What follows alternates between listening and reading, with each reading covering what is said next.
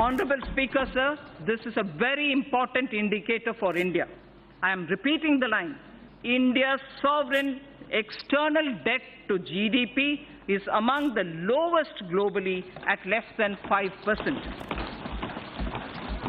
The government will start raising a part of its gross borrowing program in external markets in external currencies.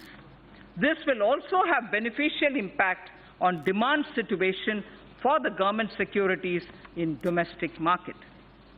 A new series of coins, sir, a new series of coins of 1 rupee, 2 rupees, 5 rupees, 10 rupees and 20 rupees easily identifiable to the visually impaired also were released by the government minister by the honorable prime minister on 7th march 2019 these new coins will be made available for public use shortly